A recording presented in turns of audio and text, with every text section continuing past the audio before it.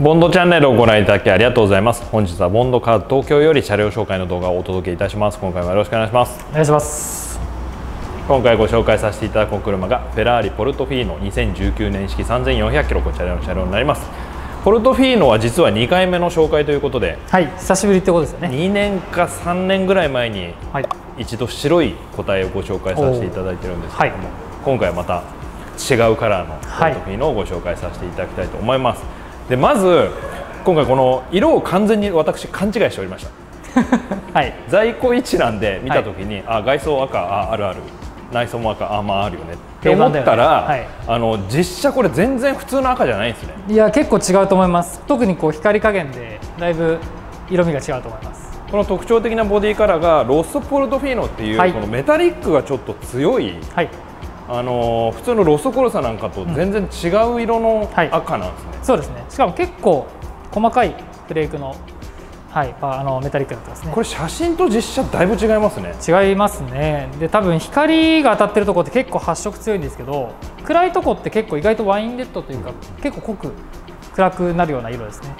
ちょっと雰囲気が違ってかなりこのはい。ポルトフィーノのオープンとあと閉めた時のこのクーペスタイルにすごはい。くマッチしてるなっていう、うんそんな感じの色になっております、はい。そしてもう車自体はもう皆さんご存知のところだと思いますけれどもカリフォルニア T の後継ということで、ただあのデザインがかなり一新されてるみたいですね、っていうのも、ペニーファリーナからこう離れてそうですね。フェラーリのデザインセンターデザインになって、ワイドローが非常に強調されているということで、はい。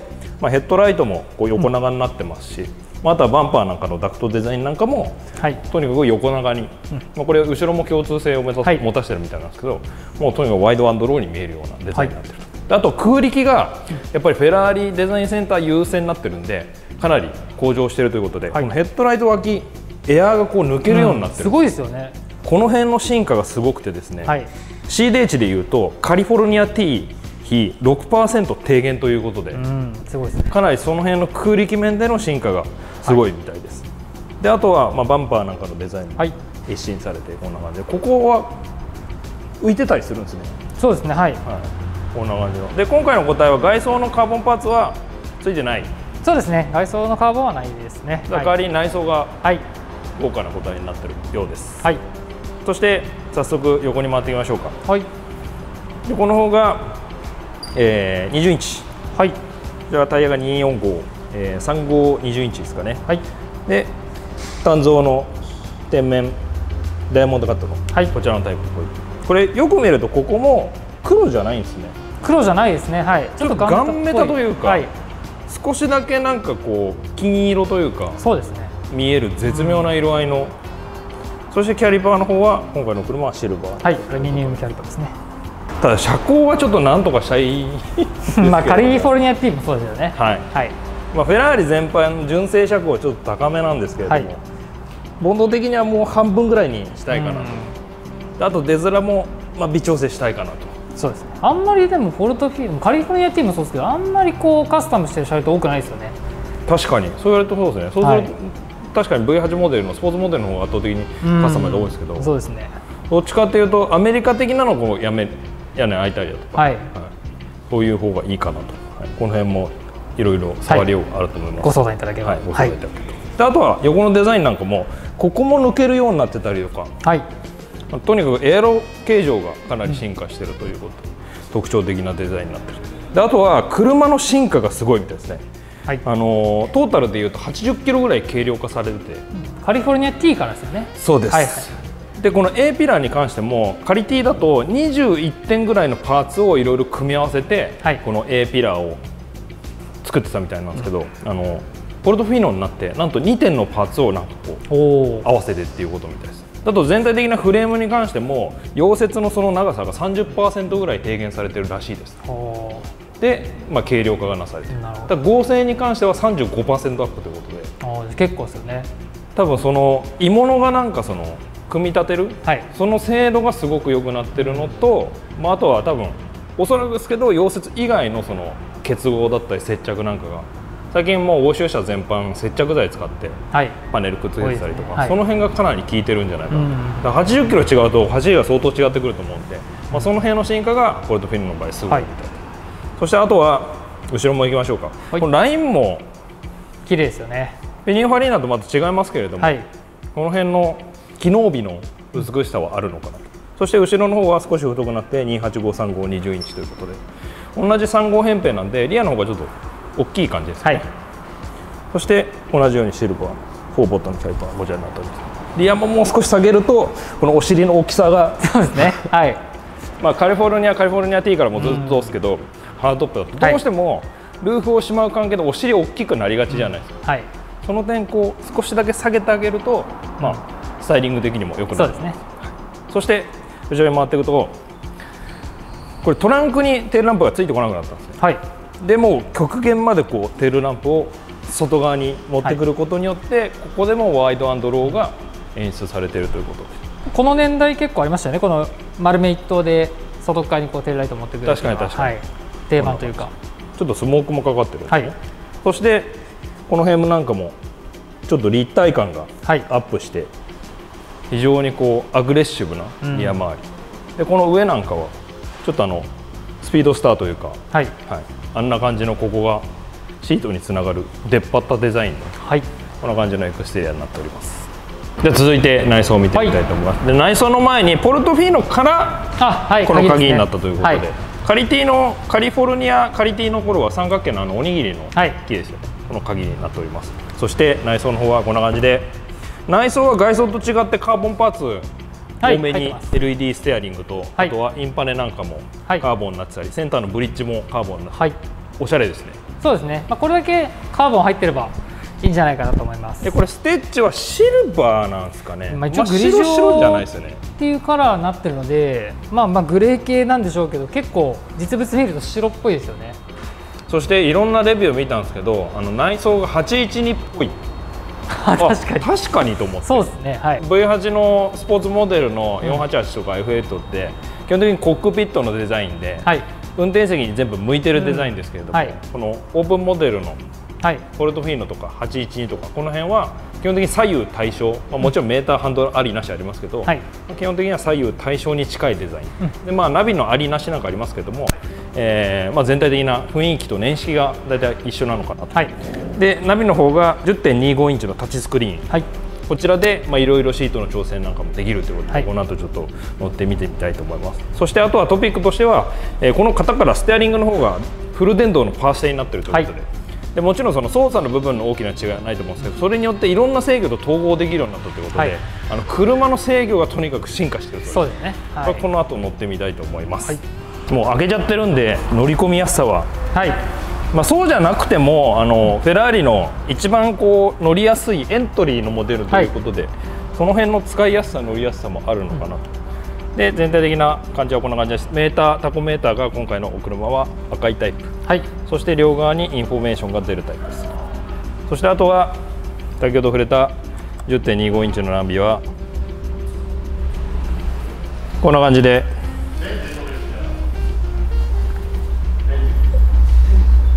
一通りメディアもそうですし ETC カードが挿入されていません、ナビも割と今時な感じなのかな。まあそうですねはい、はい。そしてあとはシートの方が細かく調整できるということで、はい。シートヒーターもついててあとはサポート系がはい。細かく、はい、できるということでこれを下を出したりなんかもこっちか。へいあこれ。こっちの方が分かりやすいはい。今助手席が出てます、はい、はい。こんな感じで出したりとか。できると。だ結構ガチガチにできますよね。意外とそうですね。はい、はい。こんな調整もついております。でスタンダードな調整もついてるんでいろんな体型に合ってるかなと。あと全体的な印象はシートが低い。ああまあ。とにかく低い、はいそうですね。まあ低くできる。一番下げるとなんとこんなに低くできちゃうということで。うん。これめっちゃかっこいいですよね。かっこいいですもう肩入っちゃってますよねよりこうだからこのドアからぴょこって頭だけ見える、もうスーパースポーツな感じのシルエットにできちゃうと。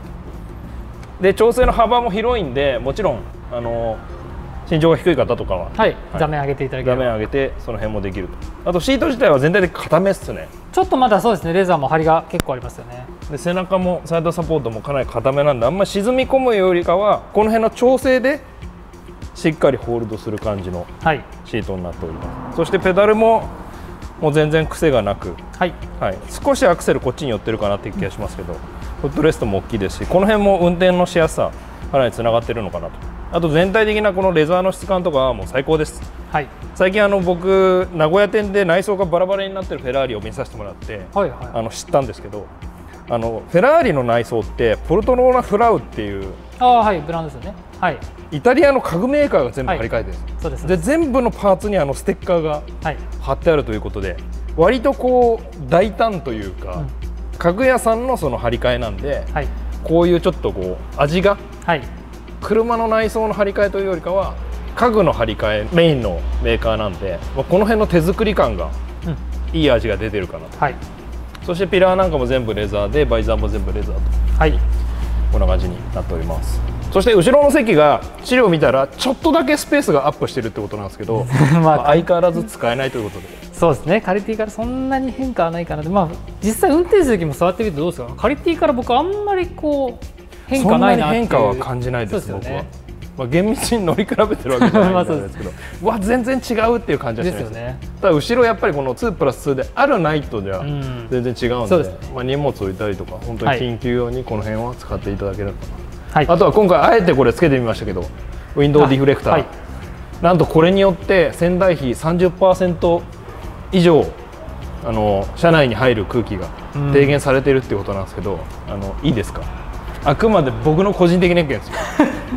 かっこ悪いっす。まあまあ僕も同じことは思ってます。はい。これもうちょっとなんとかなんなかったのかなと。うんそうですね。つけてる人見たことないですよ。ないですね。実際走ってるのでは。割と少数派なのか。な、まあ、数字的にはかなり効くっていうことなんで、はい。今回これつけていきますか。せっかくなんでちょっとそうですね。検証してみましょうか。ちょっとはい。これで試乗してみたいと思います、はい。こんな感じの内装になってます続いてトランクを見てみたいと思います。トランクも後ろ開けられるやつがついててはい。こんな感じで。はい。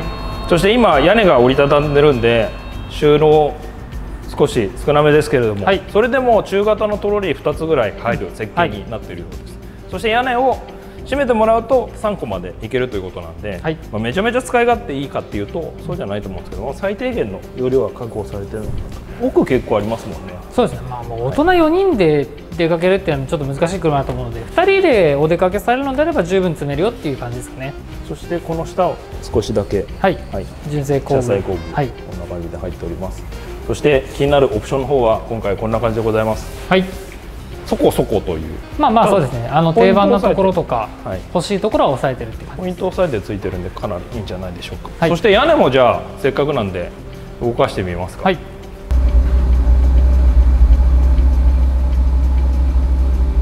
これが動作完了まで14秒。時速40キロまで動作するような仕組みになってるそうです。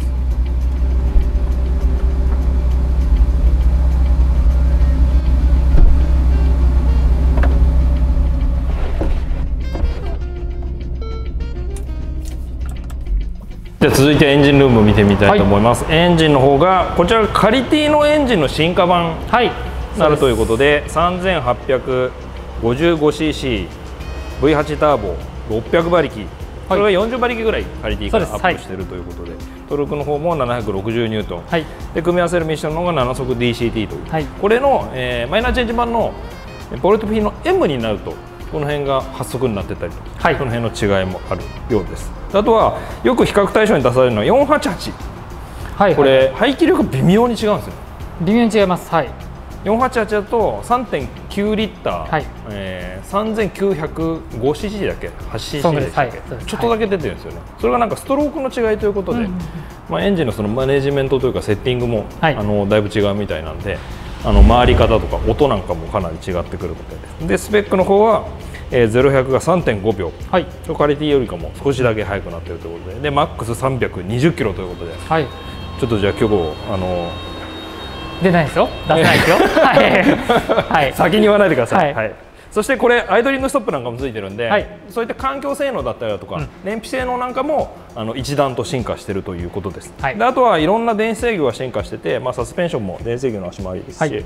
えー先ほど触れた、えーフル電動のパワーステアリングなんか、はい。えーあとは第3世代のリアデフあと F1 トラックトラクションコントロールとかその辺の電子制御がかなり統合してコントロールできるようになったんで、車体の制御がかなり細かくできるようになってるところなんで、はい。この後ちょっと乗ってみたいと思います。エンジンは実はあれなんですよ G- あの GTC4ルッソ T とあ一番近いですよね。はい、それと一番近いっていうのははい。僕もレビューで見てました、はい。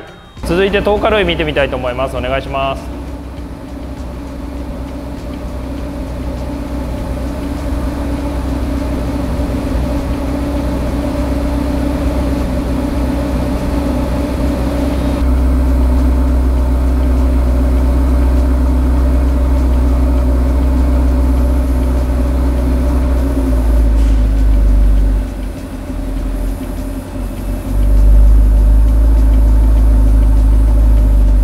続いてマフラーの音も聞いてみたいと思います。お願いします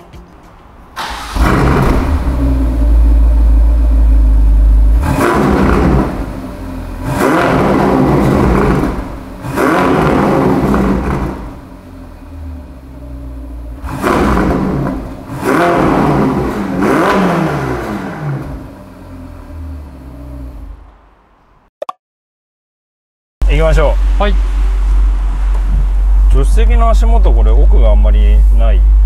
ああ意外とそうですね。ね。じゃあ行きますね。はい。で座面はさっきも触れましたけど肩上げたり下げたりできる。あはい。はい。っていうかブリッピングしたらめっちゃいい音してた本当に。音いいっすよね。びっくりした。びっくりした。しなんか自分の耳がだんだんこうターボのあの音に慣れてきたのかなって。勝手にまあ最初出た頃はちょっといやーで,、ももうだってハイブリッドももうすぐそこじゃない。はいはいはい。もうじきにこの音すらしなくなるんだよ。そうですね。背中とにかく背中のこの押し出しを。電動パース軽いな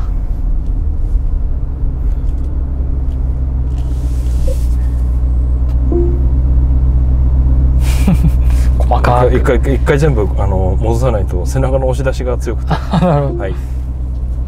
こんな感じで。はい。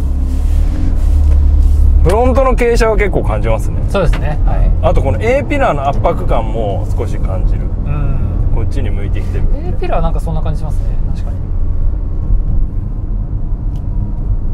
に。で乗り味の方はなんとこれ足回りがカリティよりだいぶ固められてて。はいなんと15.5%フロント。リアおー。19%硬くなってるということで、なんとこれがですねハンドリングスペチャーレと同等の硬さになってるらしいです。あえじそんなの日常で乗れんのって感じですけど、あはい。あの全ここはもう制御の方ではい。単純にレートアップしたからって言って不快になるんじゃなくて、ん。まあ、ちゃんとその制御の方でトータルで制御してるんで、まあ、快適性も残しつつね。走りがグレードアップしてるなんか今乗り出した感じは今コンフォートなんですけどそんなになんかなんかガチガチ硬いっていう感じではないですよね、っていうかでもボディのしっかりさを感じる。そうですねはい。屋根が開くのに。うん確かにこうビビリ音とかもなんか今のところないですよね、なんかギシギシミシミシいう感じもなく、ん。本当に普通にクーペに乗ってる感じそうですね。そしてあとはとにかく車が軽いということで、はいあの似たようなスタイリングで SL63 僕が読んだようなと引き合いに出してましたけど、はい。SL63 よりかも150キロぐらい軽いということで。おおいいですね。150キロ？150キロですね。それは結構大きいですよね。130キロか。うん。それだけ違うとだいぶ違うんじゃないかな。だいぶ違うと思います。うわうわ。まだコンフォートですだからこれはあのエントリーとかって言われてるけど、うん。とんでもないエントリーだと思う。確かにそう。本当そうですよね。乗りやすさは確かにエントリーだなと思うんですけど。毎日乗れてこのスペックあってうん。このスタイリングで。はい。でブレーキはもうちょっと効きすぎちゃうぐらい効きくっていう。そうです。やっぱり車軽いのとあのどでかいカーボンセラミックなんでう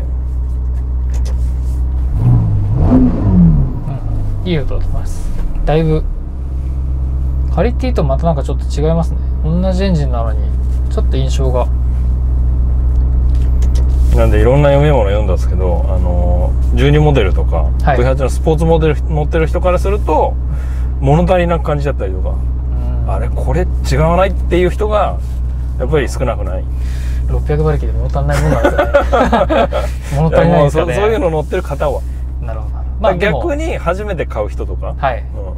うん、にはもうもう刺激的すぎるぐらい刺激的だっていう、まあパワーっていうのは音とかなんかこう感じなんでしょうね。フィーリング的な部分なんでしょうね。エモーショナルな部分。はうわー。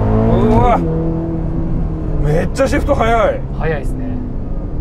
でスポーツで今ちょっと走ってみ走ってみたんですけどスポーツだとシフトアップの時にちょっとこうきますねパンとああなるほど。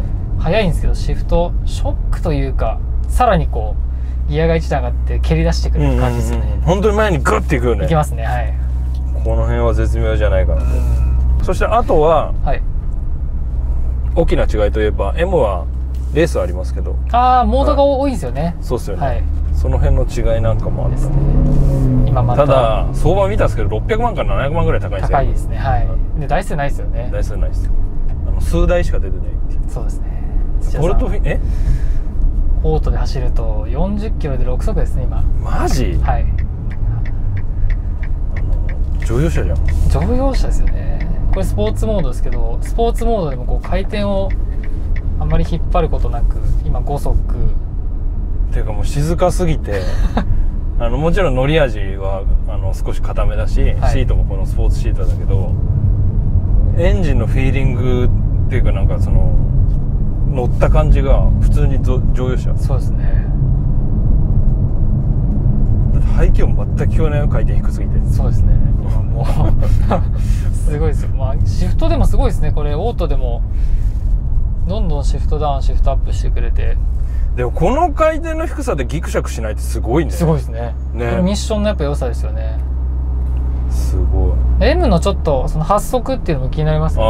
ああそうだね、はいそれももちろんギアが増えるから大きくなっちゃうのをなんか20%ぐらいちっちゃくして同じところに搭載してるとかっていう。なるほだからちょっと M も気になるっすけど、まあ、台数も少ないしどはい、価格差もまだ大きいしうん、でこのポルトフィーノ自体も全然値段が下がってない今、まだそうですね。はい。ちょっとエントリーっていうにはっていううん。ところにいますよね。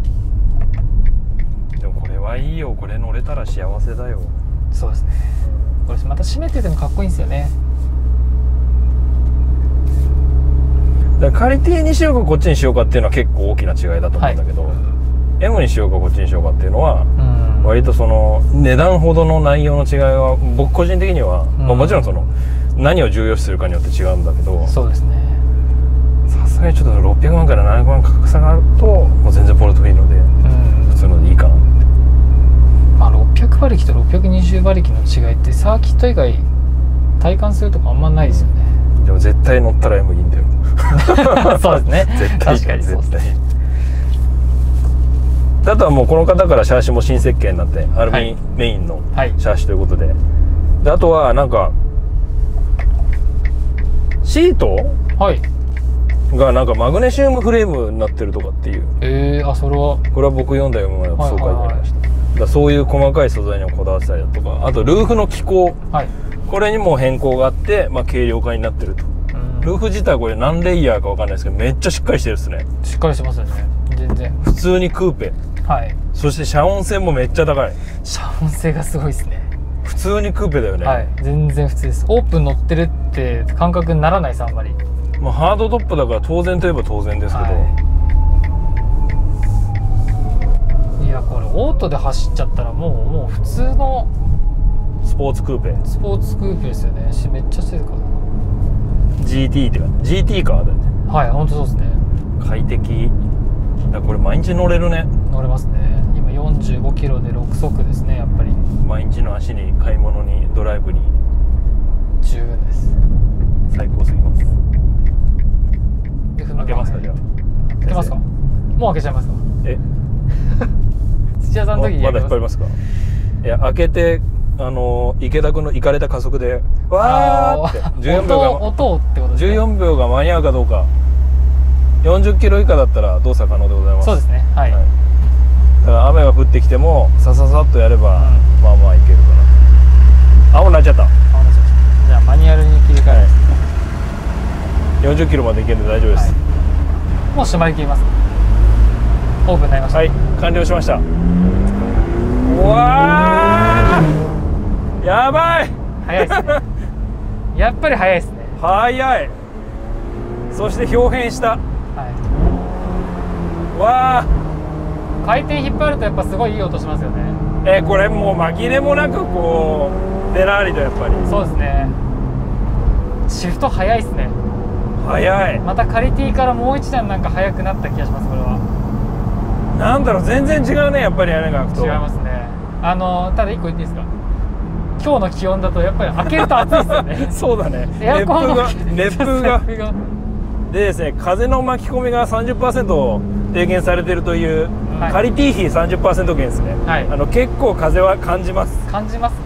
ここここの風の動き感じますよね、うん。でもやっぱ頭は頭は？そうですね。多分着座位置も低いからのも低いっていうのもあると思うんですけど頭は全然ですね頭はほとんど感じないです、はい。はいわずかにこの辺シュッて感じるぐらい、うん。ただこの辺の空気の動きをすごく感じる。そうですね。はい。で今日むちゃくちゃ暑いんで、はい。ここからの冷気と ここからの熱風が。混ざってますね。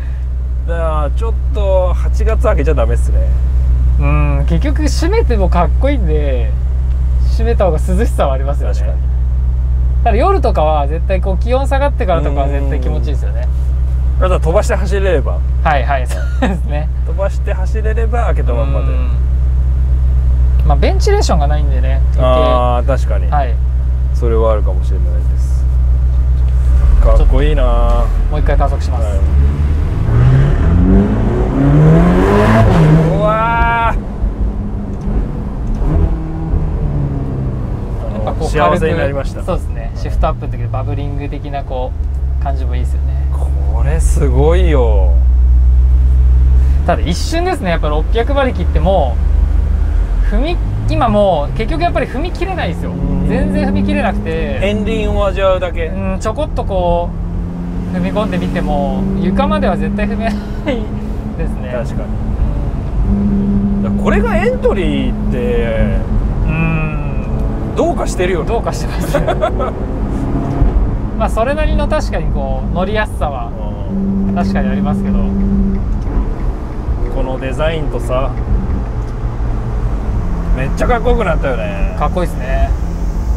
でもカリフォルニア T もすごい僕好きでしたけどね、またそこからフェラーリの方のデザインに移って。あの458と488の同じ流れね。そうですねはい。458のあのまとまりがあるデザインもすっごくいいんだけど、うん。機能美の488もそうですね。すっごいかっこいいのよあのダクトをつけるつけない問題と。はい。458の時からここのダクトをつけるとかつけないとかって言ってたんだよね、ありましたね。けどデザイン的にダメになっちゃうからって言って、うん。あのペニーファリーナが許可しなくてつかなかったっていう、はあ。それがデザインセンターのデザインになって488でついた。えー、ちょっと良すぎるこれなんかフェラーリの,、はい。あの前輪フロントタイヤがすごくつかみやすいのうん。が好きです。そうですね。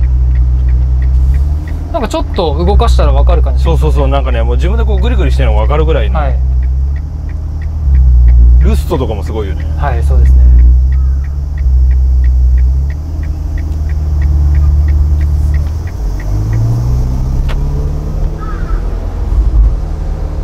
え乗りやすい乗りやすいですえしかもこんな乗りやすかったっけ？カリティよりもなんかしっかりしてる感じは確かに伝わるんですけど乗りやすさはそのままっていう。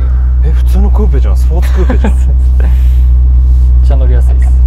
そしてこれカリティからのパワーアップのメインのところがピストンとコンロットの新設計ということで、はいはいブロックはそのままなのかな？ブロックなんかそのままっぽい気もしますよね。多分その辺のムービングパーツがちょっと更新されてて、はい。まあ、馬力が出てるということですごいなあ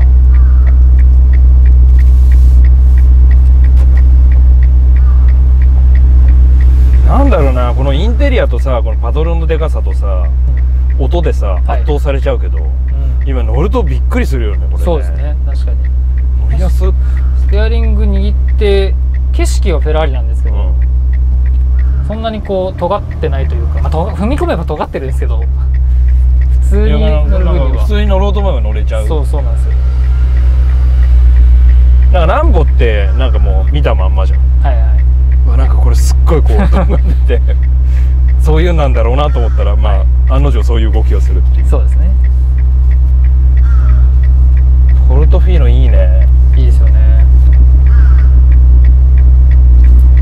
個人的にこう別に意味はないですけどこうポルトフィーノってイタリアの、まあ、港町の地名じゃないですか、なんとなく響きいいですよね。そうだね、はい。ブーツで言ったらこの辺だっけ？確かどこどこですか？確かこの辺だったなんかでも見たら上のイタリアのこう長靴みたいなって上の方の膝膝よりちょっと上ぐらいそうですねはい。そう。の港町ですよね。なんかイタリアで一番美しいって言われてる港町なんですよ、はいはい。Google マップでストリートビュー見ました？見た。すげえ海きですよね。映画じゃんもう。そうそうそう。行ってみたいなと思いましたね。いいなあそれだけ美しいオープンモデルとかですねいやもうねあのつい最近カメラマンと話したんだけどイタリアとアメリカに関しては、はい。もうねかっこつけることはね天才的だよもう。そう。本当に思う。アメリカのあのプロモーション文化というかさ、はいはい。あのよくよく見せるというか、う日本にはない感じですよそう。ねやっぱりああいうのって。あとイタリアもそう。はい。むちゃくちゃかっこいい。うんもう服とかにもししてもそうだし車でもそうだし。いいね。だからもうこのスペックをその日本の国内でどんだけ使えるかって言ったらもうほぼ半分ロマンだけど。はい。じゃあそれとんでもないスペックだからって乗りづらいかっていうとそんなことないし、まあでも使えなくてもこのパフォーマンスを持ってこそのやっぱフェラーリですよね。そうだね。幸せになれるこれ。そうですねまあまた乗りやすいんで本当に普段使いにも使えちゃう。いやこれ多分誰でも乗れるよ。そうですね。実用性がいいですよね、まあもちろんそのちょっと前の長さとか感じるけど、はい。そのなんかグーンっていっちゃうとかブレーキがどうとかとかっていうのはうん。あんまりない、ミッションも癖なく、うん。これ今コンフォートです。コンフォートです間違えたえどんどんシフトアップしていっちゃうそうそう。どんどん回転下がってっちゃう。下がってっちゃう2100回転ぐらいからどんどん下がってって今そう1000回転以下で6速入っちゃったはい。えこれで本当にギクシャクしないのすごいね。すごいですよね。普通だったらダッダッダッダッってなっちゃ うそうそう。ここから加速してもだって。音だけこうバーって。そうですね。なんかすっごいこれあの言っちゃいけないのかもしれないですけど、今ちょっとパッと思いついたけどちょっと CVT っぽいああ感じそのぐらいなんかシームレスな感じするね。そうそうそう本当シームレスでこのオートモード。なんか本当にスポーツモードでマニュアルパドル使ってるのと全然違う感じですよね。いや音も全然いいな。いやもちろんなんかねあの読み物で書いてあったのは12のなんかソプラノ歌手みたいな音とかってないうんじゃん？はい今はそうですね。ターボモデルって。こもってるし、はい。やっぱりなんかなんて言うんだろう表現難しいけどあの揃ってる感じの音やっぱりターボだうん。としないじゃん、はい。全然 OK うん。回すとめっちゃいい音するもんだって、回すいい音しますよね。もうやっぱ最近12気筒のエンジンを聞く機会の方が減ってるっていうのもあるかもしれないですけど。だんだん耳が慣れてきてるのかな。そうですねただやっぱフェラーリが作るだけはあるなって思いましたね。別にこう嫌な感じは一切なく。でも時期にこの音もしなくなるんだって。まあもうハイブリッド始まってますからね。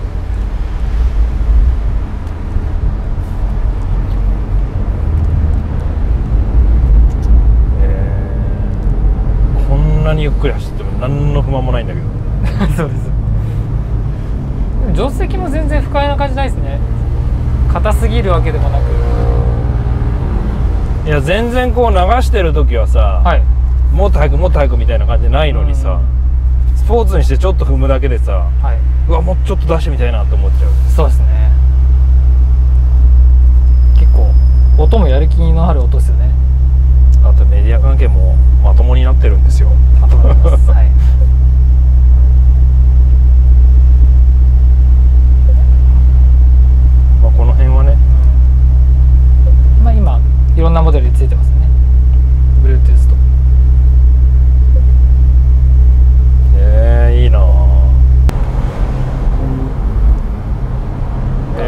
ステアリングがいいんだよな。うん。特にフロントエンジンだから結構フロントの入りクイックですよね、うん。なんかプロドライバーの人が乗ってはい。なんか直進安定性がハンドリングがすごいいい代わりに、はい。直進安定性がうんっていうの書いてあったけど、はい。あの僕レベルじゃ分かりません。まあもうちょっと確かに高速道路とか使わないとあれかもしれないですね僕レベルだところハンドリングが気持ちいいなっていう。うん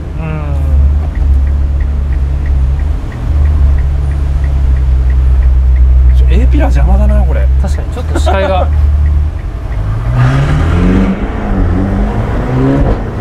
あい。え早いですね。めっちゃシートに押し付けられる感じします。これ早い。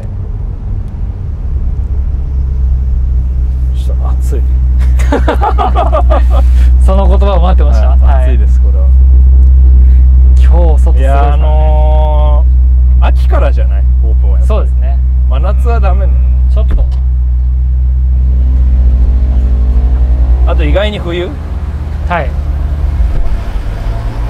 冬逆にシートヒーター入れて暖房入れてやったら全然いいと思いますね。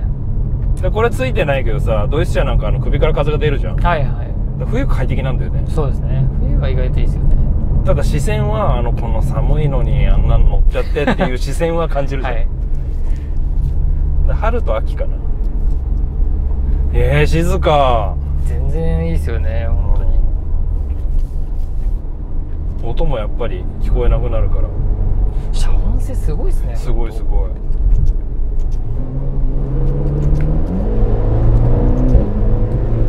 はえ。すごい。い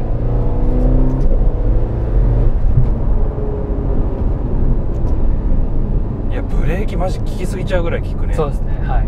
ギューって。タッチも分かりにくいわけじゃなくてやっぱ扱いやすいですよね。これ楽しいな。するよやっぱり3000万円。そうですね。カリティからの進化が本当大きいなって感じしますね。確かにカリティの方がもうちょっとなんかやっぱりアナログ感感じるよね。そうですね。ちょっと荒削りなうん。まだ感じはしますね。ボディの合成もそうだしさ、車の制御もいい意味でなんかちょっとアナログな感じを感じるけど。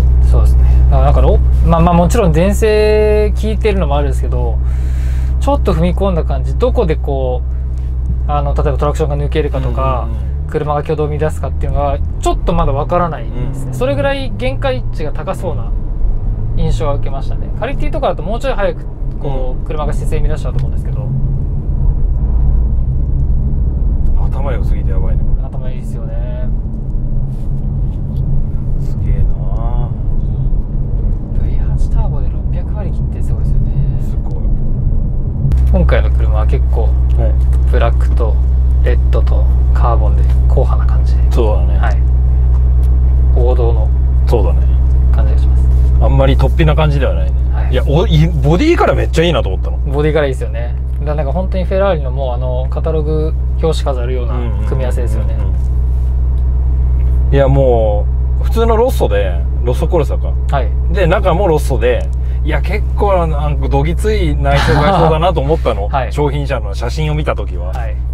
で今日実車見たらボディからめっちゃいいじゃんと思って、うん。結構上品な方ですよね。そうだよね。はい、全然いいよ。いや定番のそのロッソコルサはいいけど、うん。やっぱり内装赤赤だとこうインパクトが。そうですね。特にオープンモデルでもあるんで、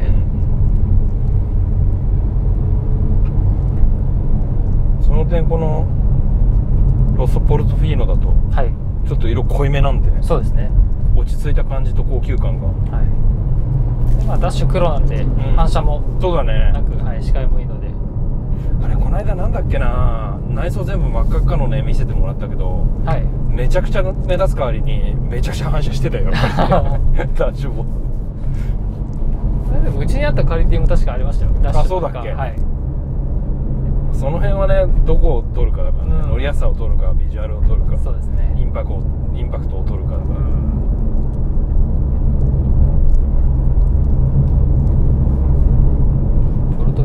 いいですね。いいモデルですね。いやいい。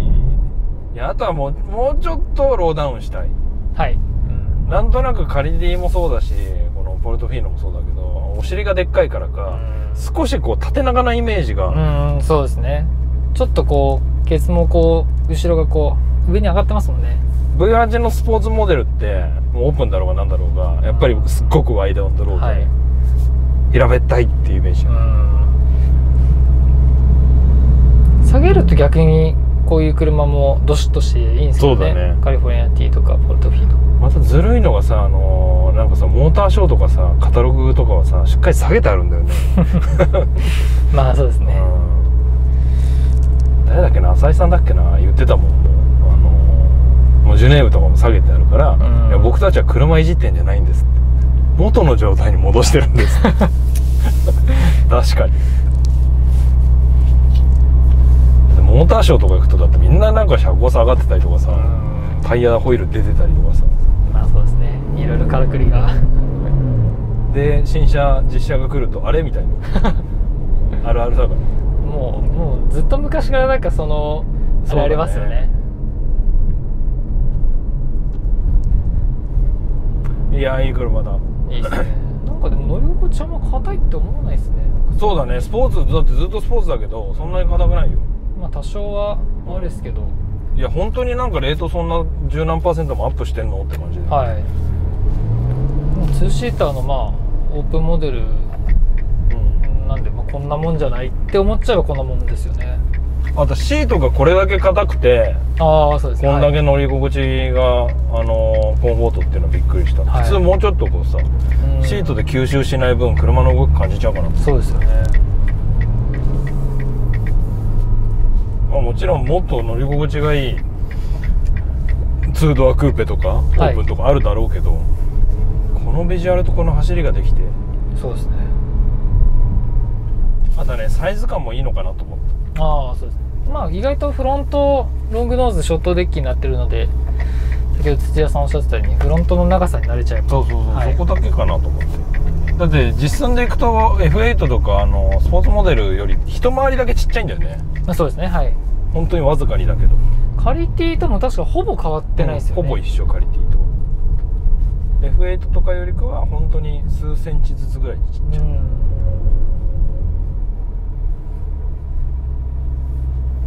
これブレーキロボットついてるホールド確かついてたと思います。のあついてる、ついてまえもう乗用車じゃん。す ありがたいですよね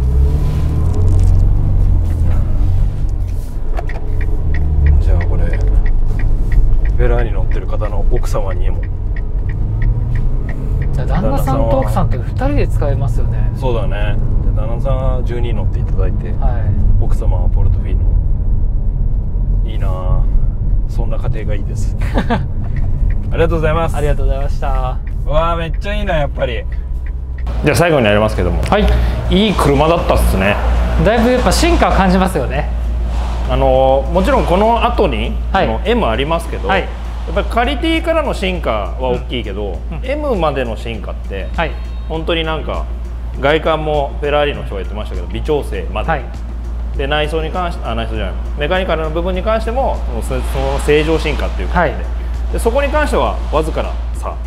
ただ市場価格は結構今離れてるんですよね。そうですね。ちょっとまだ離れてはいるんですけどまあただまあ本当によく言えば僕の本当初めての印象はやっぱカリティよりも乗りやすさはそのままにやっぱりもう車の安心感だったり安定感がもう全然増してるなっていう印象がやっぱあるのでやっぱそこに今度またエントリーモデルでカリフォルニア T 入った方でも同じような系統でまたポルトフィーノに行きたいなって方がいればいいのかなっていうふうには思いますね。初めての方にも非常にお勧めできるはいフェラーリじゃないかなと思います、というわけで今回はフェラーリポルトフィーノをご紹介させていただきました。車両の詳細は動画の説明欄よりご確認ください。最後までご視聴ありがとうございました。ありがとうございました。